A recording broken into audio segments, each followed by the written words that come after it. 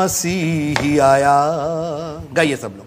दिल का करार लाया, मेरा मसीही आया। दिल का करार लाया, उजड़े हुए चमन में जैसे बहार लाया, उजड़े चमन में जैसे बहार लाया, मेरा मसीह आया, दिल का करार लाया। जानते हैं ये दिसंबर वाला गाना हम काहे गा रहे हैं? जैसे माँ जो है, वो बच्चों को नहीं झुंझुना पकड़ा देती है दर्द दर्द होता है तो। सब हम लोग अभी दर्द में हैं। कोरोना से निकले हैं, बारिश हो रही है, घर डूबे हुए हैं। We are hurting from inside लेकिन आप खुश नहीं है कि मेरा मसीह आया, दिल का करार लाया। आज भी ये गाना उतना ही उत्साह वर्धक है। आज भी ये उतनी ही खुशी देता है, जो दिसंबर के 25 को देता है। इतनी मुसीबत बाहर आप देख रहे हैं, चारों ओर देख रहे हैं, पूरा गोरखपुर का हाल, आपके घरों का हाल। एक दर्द है दिल में। लेकिन ये सब दर्द अपनी जगह है। हम इसलिए खुश हैं। दुखियों को सुख मिलेगा। हर दर्द दूर दुखियों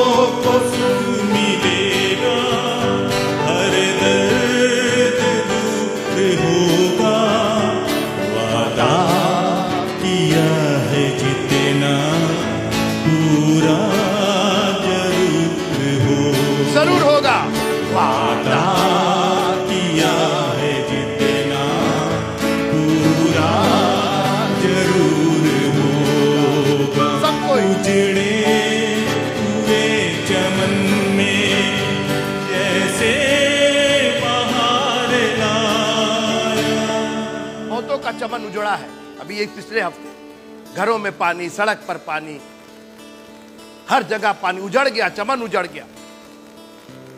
प्रभु का धन्यवाद हो। उसने ये नहीं कहा कि जब पानी खत्म हो जाएगा तो आएँगे। जब तुम्हारा उजड़ा बाग फिर से सवर जाएगा तो हम आएँगे। उसने कहा, उसी उजड़े हुए बाग में हम आएँगे। कितना उजड़ेगा कितना उजड़ेगा। मेरे को तुम्हारा उजड़ा हुआ चमन रोक नहीं पाएगा।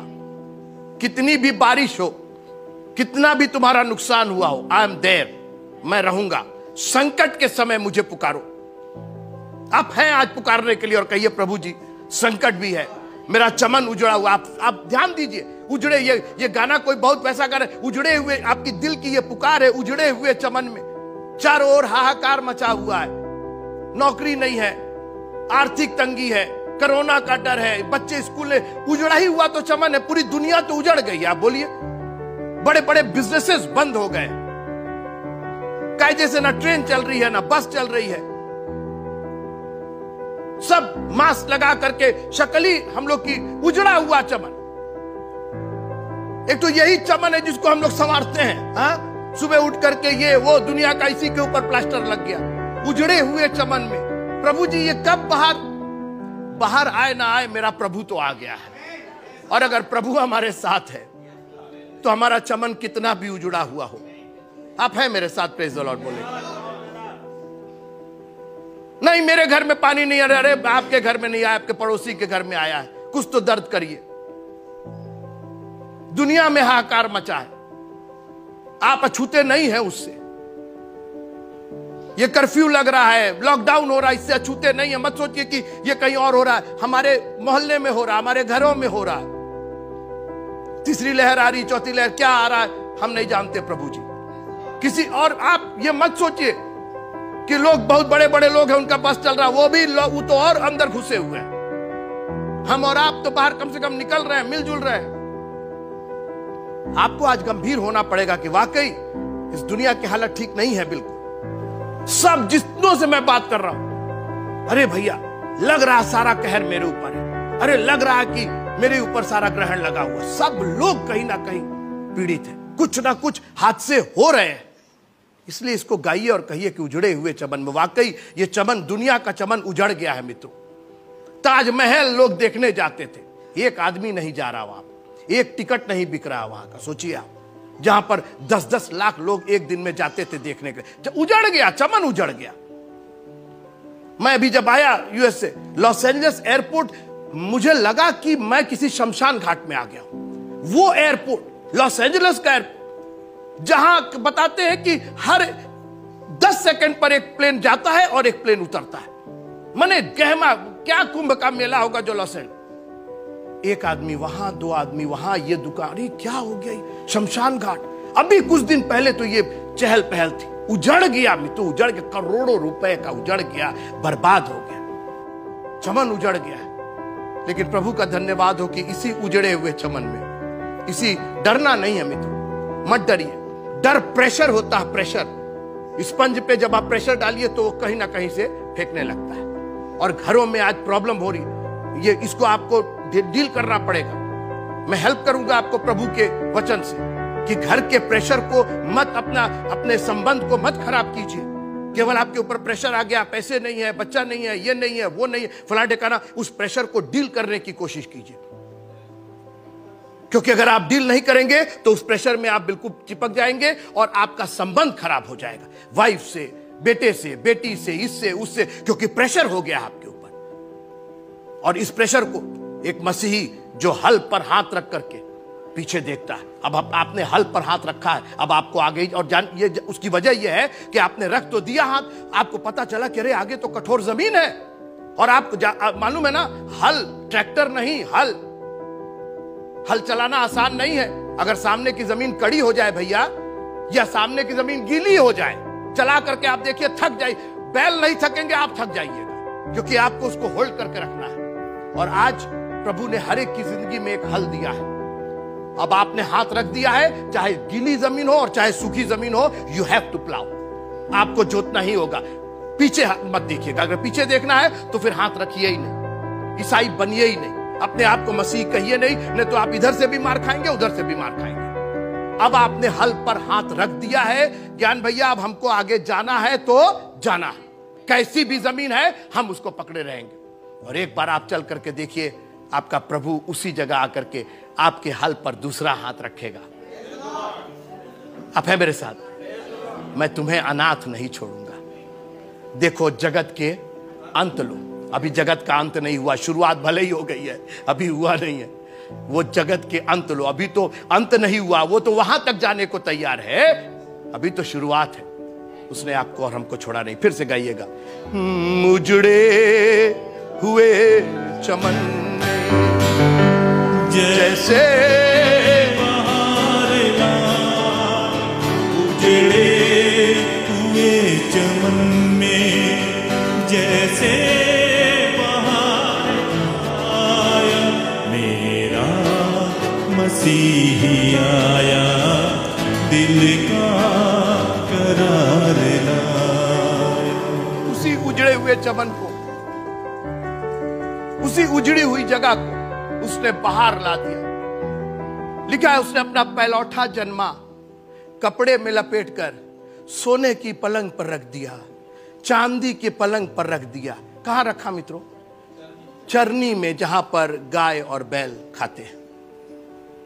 अब इससे ज़्यादा उजाड़ नहीं होगा किसी माँ के लिए कि अपने नवजात शिशु को। आप में से कितने, आप कहेंगे, नहीं भैया, हम गोदी में रखेंगे, हम उसमें नहीं रखेंगे। हमारा यीशु मसीह चरनी में रखा गया मित्रों मगर उसी चरनी में मजूसी चले आए, सोना, मुर और लोबान लेके चले आए। लोगों ने सोचा कि उन लोगों ने सोचा, ये तो महल में चढ़ाएँगे। प्रभु ने कहा, नहीं, एक उजड़ी हुई जगह है, जहाँ कोई नहीं जाना चाहता है। हमको नहीं ख्वाब देखना, महल का ख्वाब नहीं देखना। हेरोदेश रहे फिर रहे उसके अंदर।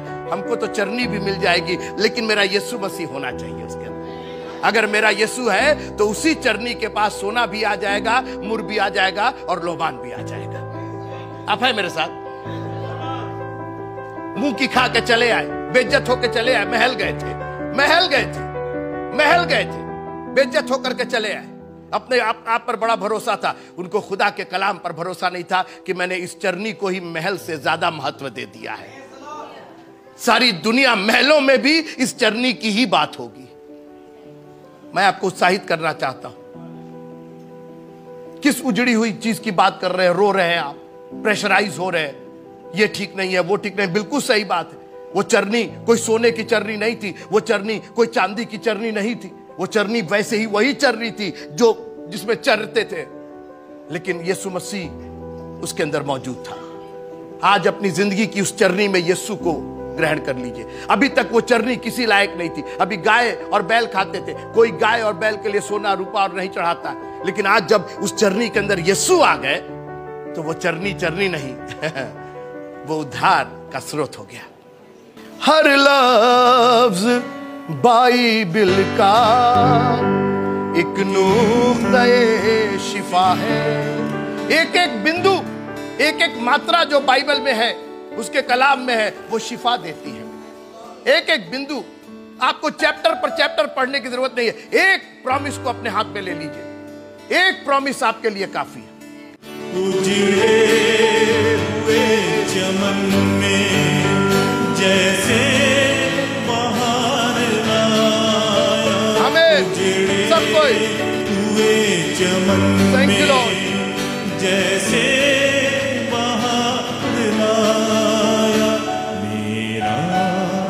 मसीही आया दिल का दिल का खुदावत हमें इतनी खुशी हो रही है आज। लाल समंदर था, तभी तो दो भाग हुआ खुदावत बिना असंभव के संभव आप करते ही नहीं है। जब हमारे लिए चीज़ें असंभव हो जाती हैं, परिस्थितियाँ असंभव हो जाती हैं, आप उसको संभव करते हैं। प्रभु जी, आज हमारी उन आँखों को खोलिएगा। जब गेजी की आँखों को खोला और उसने देखा कि जो सेना आसमान में है, वो उनसे कहीं ज़्यादा है जो ज़मीन पर थी। आज खुदाबंद, हमें यह समझाइएगा कि आज डरने की ज़रूरत नहीं है। आज बड़े हियाव के साथ आगे बढ़ने की ज़रूरत यीशु मसीह के पवित्र नाम से मांगते हैं। आमीन आमीन।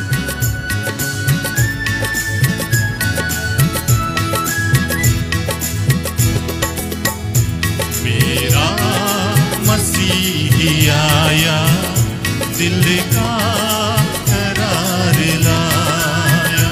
मेरा मसीही आया, दिल का